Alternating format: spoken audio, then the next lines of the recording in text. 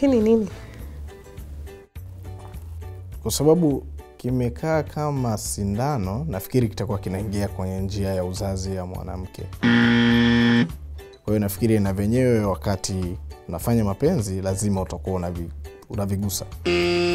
Hii nikiangalia inawekwa mkononi. Wanasema kuna njia inaitwa ya vijiti ya uzazi wa mpango. Sijai kuiona live, so nahisi labda inaweza ikawa ina relate na hii. Usihofu, trust iko kwa ajili yako. Hii ni aina moja ya njia ya kipandikizi.